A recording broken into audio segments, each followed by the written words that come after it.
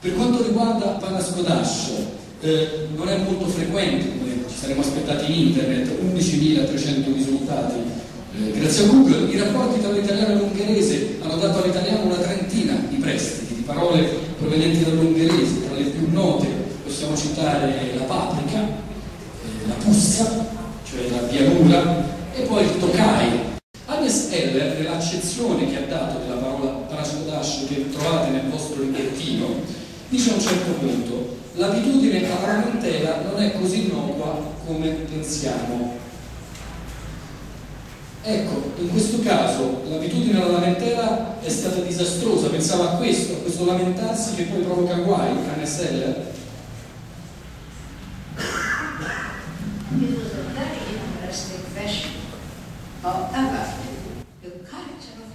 La eh, ringrazio della domanda molto interessante, ma in realtà eh, la cultura del lamento non ha molto a che vedere con la proiezione diretta del potere politico, eh, perché il potere politico quello che cerca di fare è di dimostrare che tutto andrà male prima delle elezioni e di sottolineare invece che tutto va bene o andrà bene subito dopo le, le elezioni. Questa è stata semplicemente propaganda e non è cultura del lamento della quale invece ho parlato io. Ma eh, se eh, mi si chiede, eh, quando mi è stato chiesto di trovare una parola che definisse al meglio quali sono i tratti salienti popolo ungherese, io ho deciso di non ricorrere a delle immagini stereotipate. Ed infatti se si chiede agli ungheresi qual è la caratteristica degli ungheresi stessi, la loro risposta è quella che sono diligenti. Se si chiede ad un ungherese come sono i russi, la risposta è religiosi. Come sono i francesi, immorali. I serbi, crudeli. I rumeni, sporchi.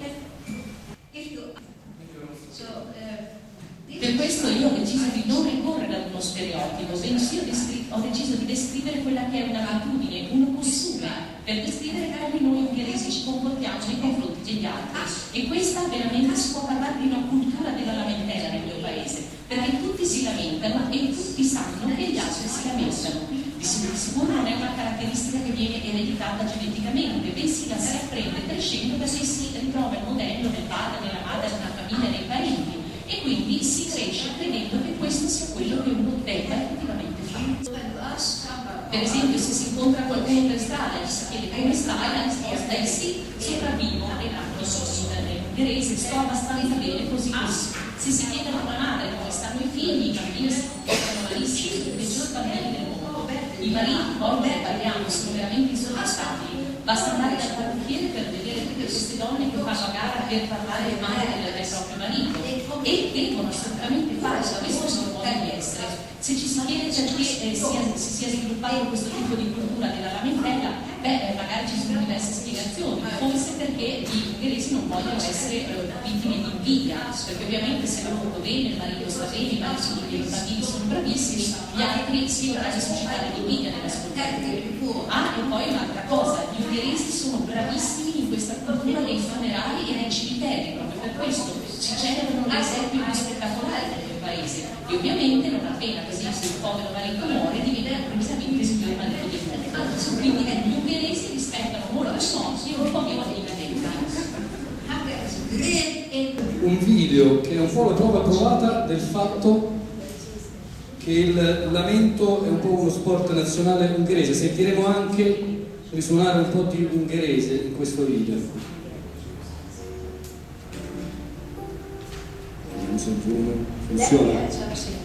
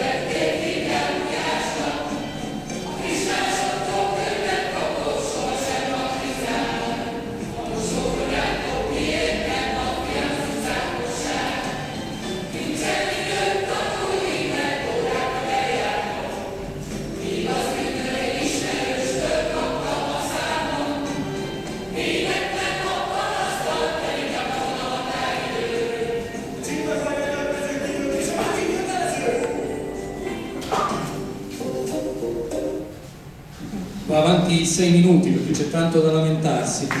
Questo, questo è il Budapesti Palace Chorus, cioè in inglese Budapest Complaints Core. È un coro organizzato che ha un, 120 persone iscritte e organizza questi che si chiamano flash mob, cioè improvvisamente un certo numero di persone si raduna in un posto e comincia a fare delle performance. Tutte le performance hanno come obiettivo quello di mettere in versi i lamenti della gente. Avete visto, no? le, le, domeniche sono sempre più corte dei lunedì, gli autobus non arrivano in orario, eccetera, eccetera, eccetera. E questo che intendeva Agnesella Intendevo dire questo, ma volevo anche aggiungere il fatto che la lamentela non è del tutto innocente, perché ci sia anche un pericolo nella struttura della lamentela. Noi infatti in primo luogo ci consideriamo delle vittime e per tutto l'arco la durata della nostra storia ci siamo sempre considerati delle vittime. E da qui è nata la cultura della lamentela, ma la stessa cultura della lamentela viceversa ha generato le vittime. Poi c'è il paternalismo, e cioè la cultura della lamentela è una cultura paternalista. Noi in un certo senso ci sentiamo di avere il diritto di eh, delle supplicazioni, di supplicare in un certo senso.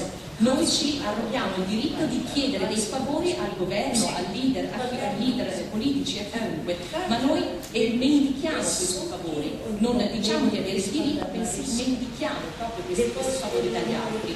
E eh, il primo pericolo che si vede in questo è proprio quello del suicidio. Del suicidio.